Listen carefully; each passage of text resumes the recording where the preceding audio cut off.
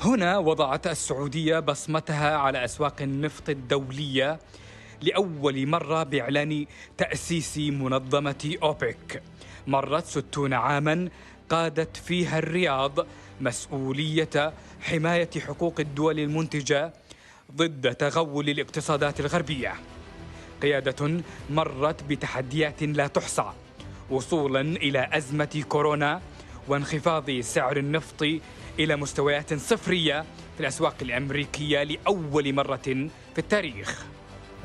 لأول مرة منذ عشر سنوات تقريبا لم تنخفض أسعار النفط إلى هذه المستويات وصلت إلى 23 دولار تقريبا لأسباب مرتبطة بعدم اتفاق أوبك على خفض الإنتاج خاصة وأن روسيا كانت المعارض الأول لمحاولتها إدخال منتجين من خارج أوبك لتحمل حصتهم في خفض الإنتاج. وبعد هذا المملكة اتخذت قرارا سياديا بأنها لن تخضع لهذا لهذه الاتفاقية ما لم تخضع لها جميع دول أوبك وبالتالي هددت المملكة بزيادة إنتاجها وهذا أثر تأثيرا كبيرا على الأسعار إضافة إلى تأثير كورونا المباشر وبالتالي انهارت الأسعار إلى مستويات 23 دولار. انتبه العالم إلى دور المملكة الرئيس في معركة النفط وبالتالي لن يكون هناك اتفاق إلا بوجود المملكة وبإدارتها لهذه المعركة.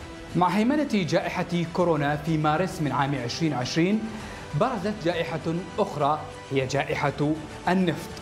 هبط سعر النفط إلى دون 23 دولار مع رفض روسي لمقترح السعودية خفض الإنتاج عبر مجموعة أوبك بلس. ردت السعودية بعدها بالتلويح برفع إنتاجها إلى 12 مليون برميل يوميا.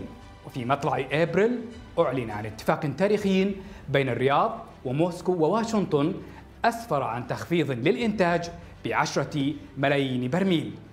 في الخامس من يناير عام 2021 تجاوز سعر النفط حاجز الخمسين دولار بعد مبادرة السعودية الطوعية لخفض الإنتاج. تدخل الرئيس الأمريكي واتصل بسمو ولي العهد ثم اتصل بروسيا وبالتالي حدث الاتفاق التاريخي بين أوبك plus and plus عندما تدخلت الولايات المتحدة الأمريكية في آه هذا الاتفاق وبالتالي المملكة حققت هدفين أساسيين. الهدف الأول هو دعم الأسعار وعودتها إلى مستويات فوق الأربعين دولار في فترة زمنية قصيرة ثم نموه والهدف الآخر هو دخول الولايات المتحدة الأمريكية شريكا رئيسا لأوبك في دعم الأسعار وبالتالي لن تستطيع الولايات المتحدة أن تتهم أوبك مستقبلا بأنها منظمة احتكارية كما كانت تقول. تمكنت القيادة السعودية من جديد من إعادة الهدوء إلى الأسواق.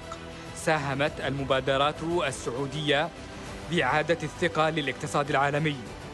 خلال عام واحد ارتفع سعر النفط بنسبة 260% عن أدنى سعر في بداية الأزمة. تمثل المملكة البنك المركزي للنفط العالمي وبالتالي هي المصدر الرئيس والمسيطر على أسواق النفط. هذا أولاً. ثانيا لم تعد المملكة هي اللاعب الرئيس في قطاع الطاقة لأسباب مرتبطة بالنفط بل هي اليوم أصبحت لاعب رئيس في الطاقة المتجددة.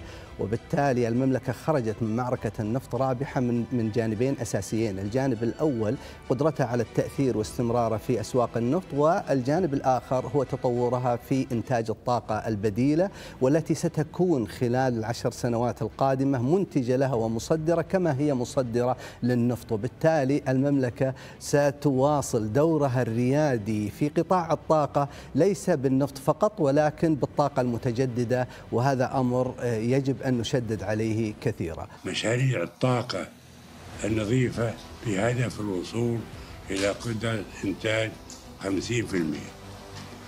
من احتياجات المملكة في حلول عام 2030 ولم ينتهي عام الأزمة النفطية حتى أعلنت السعودية عن سبعة مشاريع ضخمة للطاقة النظيفة وتصدير الأمونيا الزرقاء إلى اليابان وإنتاج الهيدروجين الأخضر وإعلان الرياض عبر قمة المناخ عن طموحها لإنتاج 50% من احتياجاتها للكهرباء من الطاقة النظيفة عام 2030 طموح وضع السعودية في خانة صناعة التاريخ وليس الاكتفاء بمشاهدته.